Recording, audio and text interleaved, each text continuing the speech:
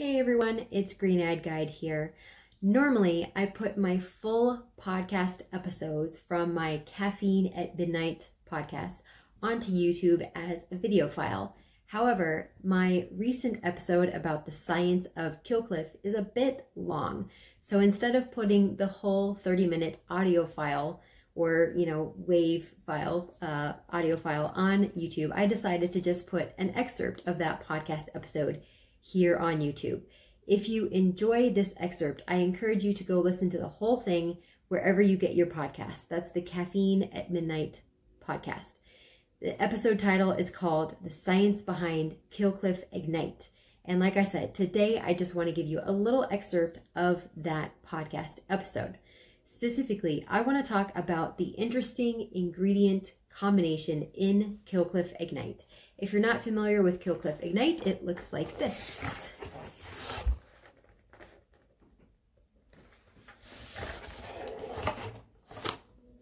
Now, in this drink, there's an interesting combination of niacin plus ginger plus carbonation. And that combination really helps give you perceived energy. Here's what I'm talking about. Energy drinks don't give you energy.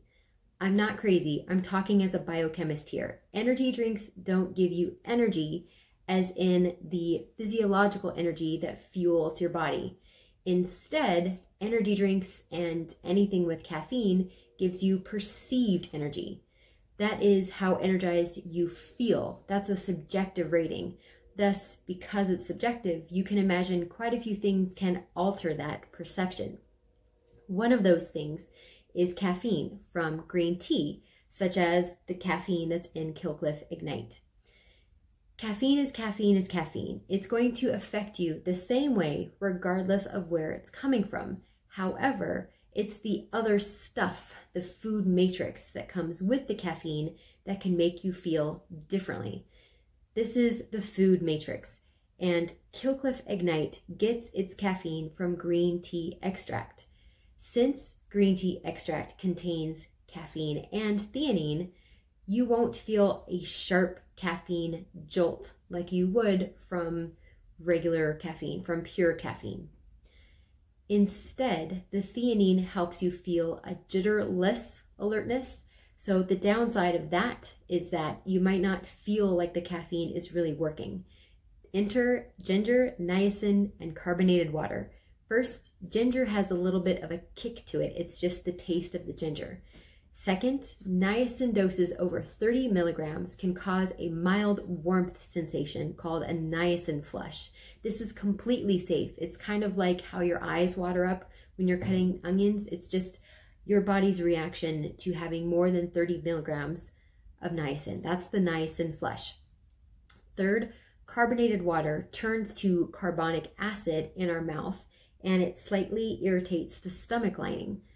Put all of those together, the ginger, the niacin, and the carbonated water, and you'll get this warm, tingly, bubbly sensation while you're drinking Kill Cliff Ignite.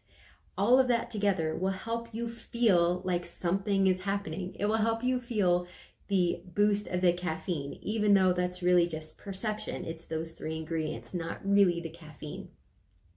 In summary, Kill Cliff Ignite has a unique blend of ingredients that helps you feel that tangible benefits as well as the noticeable energy boost.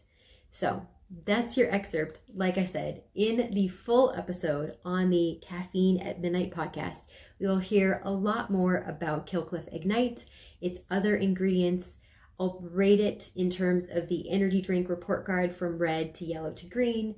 We'll talk about can you drink Kill Cliff Ignite every day, and we'll compare Kill Cliff Ignite to a stereotypical energy drink. I hope you go listen to the full episode. I hope you enjoyed this excerpt, and I hope you have a powerful and productive week. Take care.